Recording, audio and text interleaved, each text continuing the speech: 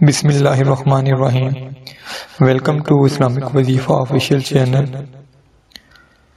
امید کرتا ہوں آپ سب خیریت سے ہوں گے اور آپ کو جو بھی مسائل ہوں، جس ٹاپک کا بھی آپ کو مسئلہ ہو، آپ اس ویڈیو کی ڈسکرپشن پر موجود لنک پر کلک کریں۔ آپ کو ہر ٹاپک سے ریلیٹڈ ویڈیو ایزیلی مل جائے گی۔ اور انشاءاللہ امید کرتا ہوں وہ آپ کے لیے فائدہ مند بھی ہوگی۔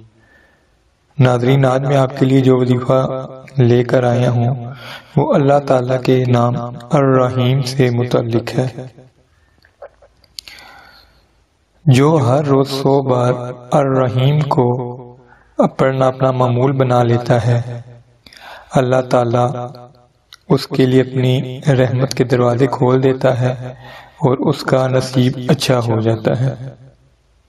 اس کے علاوہ جو کوئی اس اسم مبارک کو روزانہ پانچ سو بار یعنی فائیو ہنڈریڈ ٹائمز پڑھتا ہے، تو اللہ تعالیٰ کی مخلوق اس پر مہربان ہو جاتی ہے۔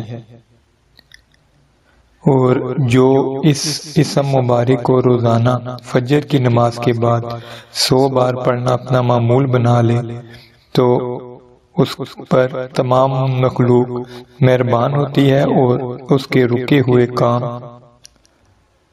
بخوبی سر انجام پاتے ہیں۔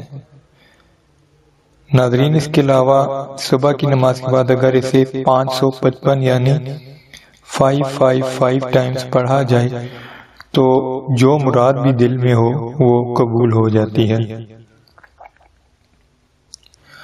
اور اس کے علاوہ ناظرین، اگر اس اسم مبارک کو لکھ کر پانی میں دھو کر کسی جڑ میں ڈال دیا جائے یعنی اگر کسی پھل درخت وغیرہ کا پھل نہ آ رہا ہو، تو اس کی جڑ وغیرہ میں اس اسم مبارک کو لکھیں، اس کا پانی ڈال دیا جائے۔ تو اس درخت پر بہت زیادہ پھل آنا شروع ہو جاتا ہے۔ ایک دفعہ دوبارہ بتا دوں کہ اگر آپ کے پاس کوئی ایسا درخت ہے جو پھل نہ دے رہا ہو، تو آپ اس اسم مبارک کو لکھیں۔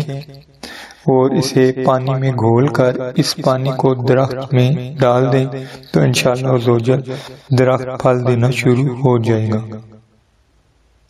امید کرتا ہوں آپ کو یہ وظیفہ پسند آیا ہوگا اور مجھے بھی اپنی دعا میں یاد رکھیے گا۔ السلام علیکم ورحمۃ اللہ۔